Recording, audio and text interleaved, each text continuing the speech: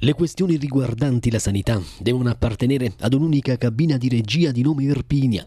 I sindaci fanno rete in difesa dei presidi ospedalieri irpini di Ariano, Solofra, Monteforte, Sant'Angelo dei Lombardi e Bisaccia, lontano da ogni logica di campanile.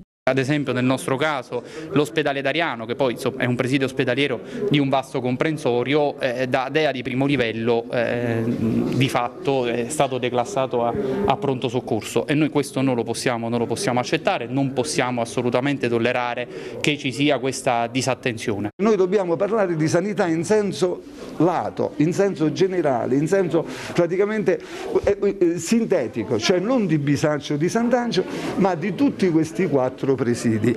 Che significa? Significa che io senz'altro sarò pronto a sostenere Ariano, ci mancherebbe, a Sant'Angelo de Lombardo ci mancherebbe, a Solofra ci mancherebbe, però nello stesso tempo chi è di Solofra, chi è di Sant'Angelo e di Ariano deve sostenere nello stesso modo praticamente Bisaccia.